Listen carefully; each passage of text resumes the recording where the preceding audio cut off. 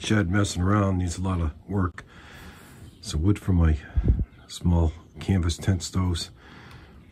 Four bags of this already. I got more. I can split more there. Mostly cooking wood up there and be good, you know.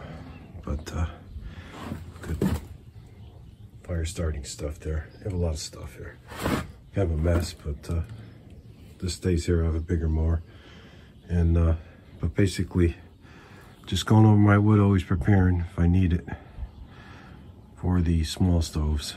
I have plenty in my shelter here. But uh, yeah, that's what I'm doing, messing around. Chilly day in the 30s.